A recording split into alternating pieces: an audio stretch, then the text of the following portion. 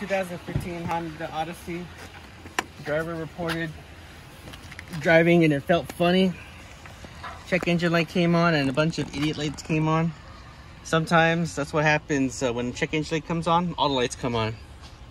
OBD2 scanner says P0303 and this is much better than a simply a P0300 code because a P0303 at the end means it's in the number three cylinder. All right, that helps us a lot. So what we do is we go to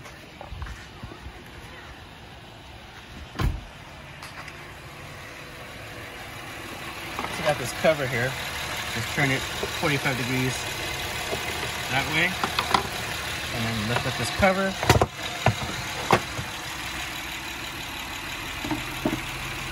And this is a V6 engine, so in the back it's one, two, three, and the front is four, five, six.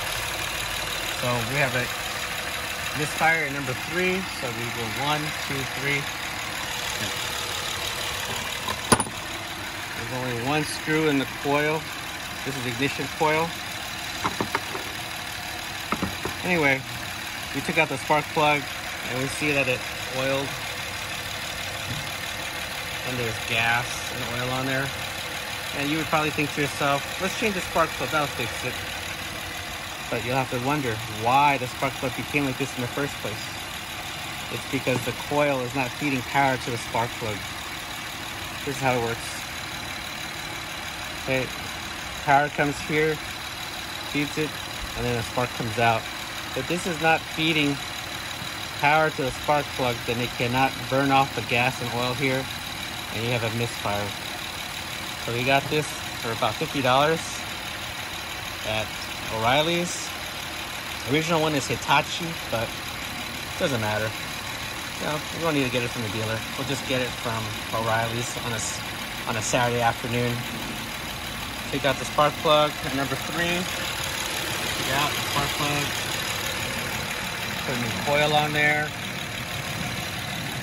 And here we go. Good. No more shake. Last thing we gotta do now there's two ways of let, getting the um, light go off. The first way is to drive it and let the codes reset, which will take about 25 miles. Or the other way is simply to reset it.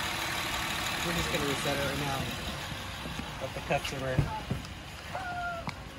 let the customer take it home. So we're just gonna push erase. Hold the erase button and then push yes